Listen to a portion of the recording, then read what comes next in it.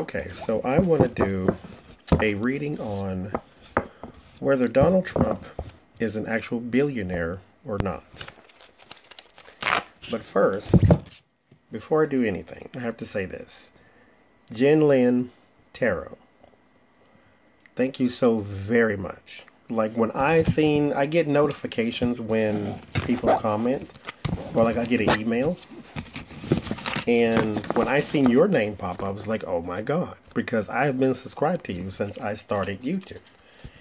And to see your name pop up, I just kind of shocked me a little bit. And then you had nice things to say. And I was like, oh, I always knew you would. I mean, I didn't think you were a horrible person. Like I said, I've been subscribed to you since I started. But I don't know. It was just, it was just one of those things where, I don't know. Thank you that's that's what I do know. Thank you very much. Thank you for everybody who came over to watch the video. Thank you for those who left kind comments. Um, that was very touching. Thank you very much. And I'm going to put her her um, YouTube channel down in the description. And Sienna Rose, I did find that channel. I'm going to watch it a little bit later today, and I'm going to link it down in the description too. Gotta support each other. So, again, thank you. Thank you very, very, very much. Very, very much. So I want to do a reading on is Donald Trump a billionaire? Because apparently he inherited $413 million from his father. So, let's see. Is he a billionaire? Because according to him, he said when someone asked him, Are you a billionaire? He said, This is what he said now. It depends on his mood.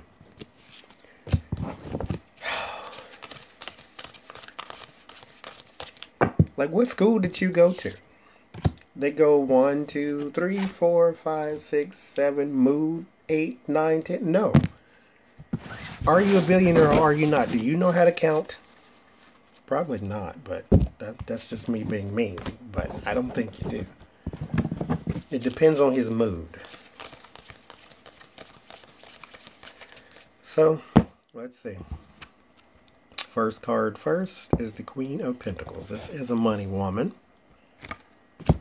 Um, like I said, you're not necessarily a billionaire. You come from a billionaire, but that's a money woman. So let's see.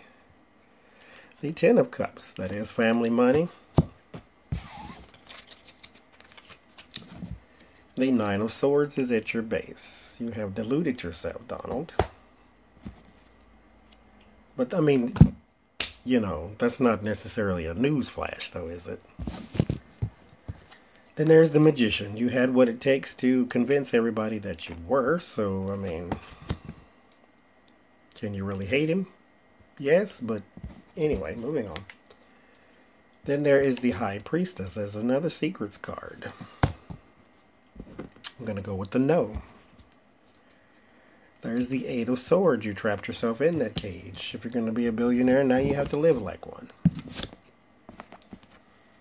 Your fear is the, of course it is. It's the Two of Pentacles. This is balance, but this is also not. The Ten of Pentacles will be the largest amount of money that the deck will show you. The Two is pretty much the lowest because the Ace is like the beginning. Then there's the Four of Cups in your environment. That is boredom. These cards are really dark. I probably picked the wrong background to do that with. But anyway, King of Swords, that is you. The Emperor. No, excuse me. The Empress. Now, why do women dominate your reading right now? Because Melania is not a billionaire. Let's start at the beginning. So there's the Queen of Pentacles. This is a woman of stability. This is a woman of means. Um,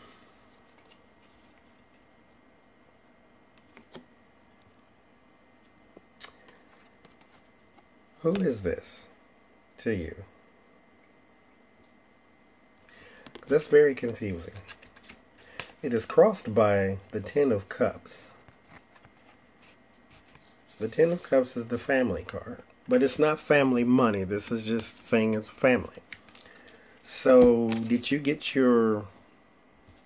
You got your $413 million inheritance from your father.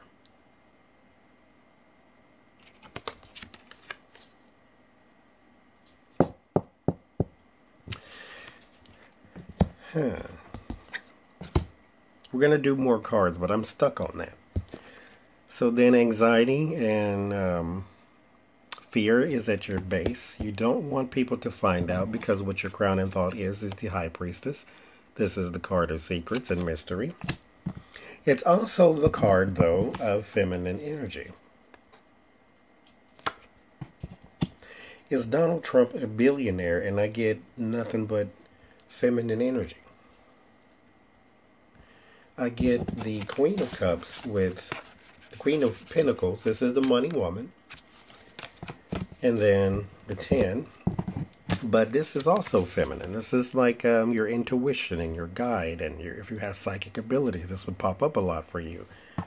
He is not psychic. Well, everybody's a little psychic. You just have to learn how to unlock it. But then his outcome is the Empress. The Empress is like high feminine energy. This is highest, the highest feminine energy. This is like the the high priestess is like the deep feminine energy. This is like the true form feminine energy. This is also like births and marriage and pregnancy and things like that. So is it saying he was born into wealth? Yes. Oh was his father a billionaire?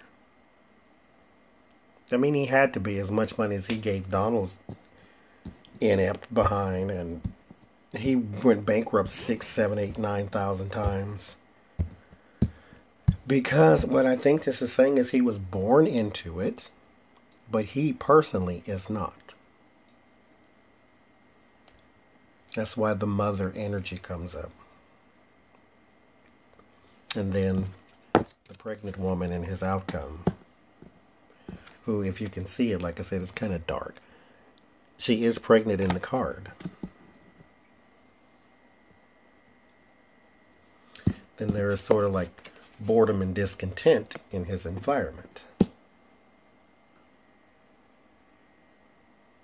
He was born into it. There's the Four Pentacles that is clinging to what you have. So, ooh, there's the Ten of Swords, the Page of Swords, then the Knight of Cups. His world changed. It changed a lot. There is the Four Pentacles, which is clinging to what you have. Ten of Swords, which is loss. This is him going bankrupt ten times. Then there is the Page of Swords, which brings by delayed or disappointing news. And then the Knight of Cups, which is a travel card or it's like a romance card, but I think his constant being bailed out is what gave him his fascination with money and possessions. Because when you go back in the day and see the interviews Trump did, like he called David Duke a disgusting person. You know, he was that guy. He said in an interview, I think I was watching who was it, Bill Maher, when he did um, his new rules about um, the Ghost of Christmas Past or something. He was doing a spoof on that and saying, "What if Donald Trump had never been born, or have if Donald Trump had never something? I don't know. Go look it up." But Donald Trump said he was asked a question What's more important, love or money? The man said love. He said that out of his mouth. This is the same person who told his son, Eric Trump. Eric Trump was actually doing something for somebody else for a change. He was doing a little charity get together or charity dinner or charity something at his father's resort. And Donald Trump got wind of it and said, Well, I don't care who he is, you charge him. Because Eric Trump was using the facility, he thought, for free. Because, you know, we're doing it for charity and this is my father's resort. Nope, he charged him. Charged his own son for holding a charity dinner at his resort. The Knight of Wands, that's new money, new job, new opportunities. Born into it, you did not make your own billions. You don't even have a billion dollars. Oh well. 413 million still ain't bad.